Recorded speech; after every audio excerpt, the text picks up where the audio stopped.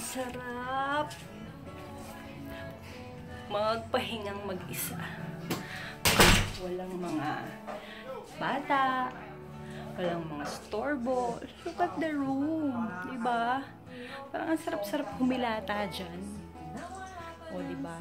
Bago kaming ano eh, pa-makeup mo. Di ba? At saka ang color, nakaka-fresh ng face. Di ba? Hmm. Sarap dito. Kaya lang, syempre, hindi ka naman pwedeng hindi ka naman pwedeng tumira dito habang buhay. Kasi mahal yan. Buti na lang na-sponsoran tayo ni Mayor. Diba? I'm so thankful at masyado niyang ginawang memorable ang birthday ko. Yes. This is is it.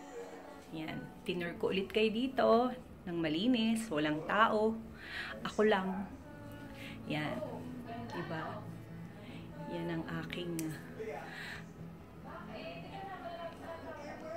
ang vanity mirror ko for two days na masyadong nakakaganda ng bongga. Sarap magpahinga. Walang tao. Ako lang. As in. Lang. Habang nanonood ako nito, kung anong title nito. Ay nako. Magfi-feeling rain na lang ako today. Yan kasama ang aking walang walang kamatayang tea with this and of course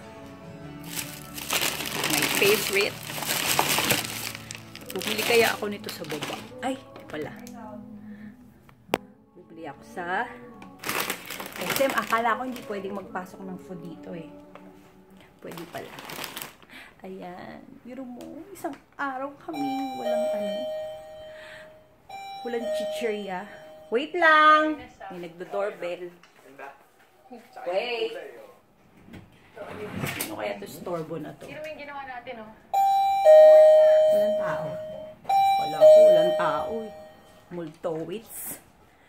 Diba? Ayan, may kasama na ako. So, mamaya na lang uli. At mag mag-snack-snackan muna ako dito.